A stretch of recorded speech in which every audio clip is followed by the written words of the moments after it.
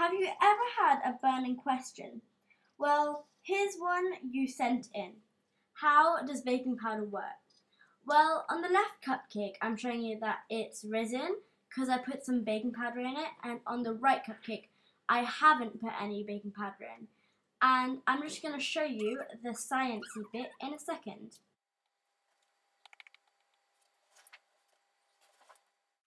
Okay, excuse my bad handwriting, but um, baking powder contains sodium bicarbonate and sodium aluminium sulfate, which both help them rise.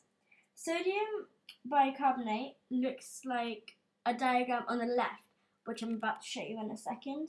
And just for fun, I decided to do a sugar chemical the chemical reaction that produces the carbon dioxide bubbles occurs immediately upon adding water, milk, eggs, or another water-based liquid ingredient. Because of this, it's important to cook your mixture right away before the bubbles burst and disappear. Also, it's important to avoid overmixing the recipe because then you'll burst all the bubbles and your cake will not rise.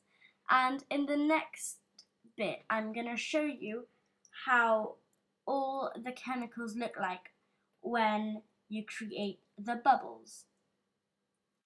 Hi, um, in this bit of my little clip, I'm going to show you how the chemicals react and look like when sodium bicarbonate and sodium aluminium sulfate um, are mixed together in a cake mix with eggs, sugar, milk, water, and any other ingredient you put in a cake mix. And in my uh, in the next bit, I'm going to show you how it looks like when you mix sodium bicarbonate and cream of tartar, which is nearly which looks the same, but it's really really different. Okay, so this chemical reaction is when you add sodium bicarbonate and cream of tartar together with a cake mix.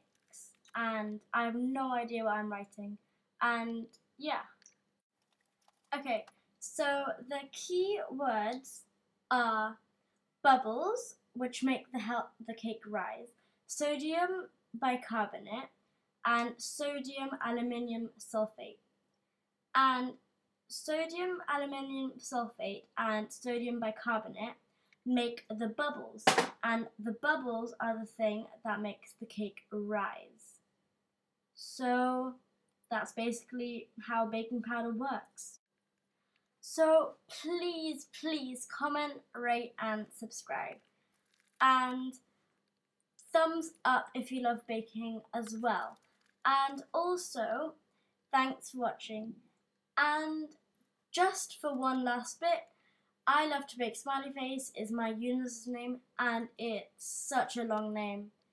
Anyway, see you guys soon. Bye.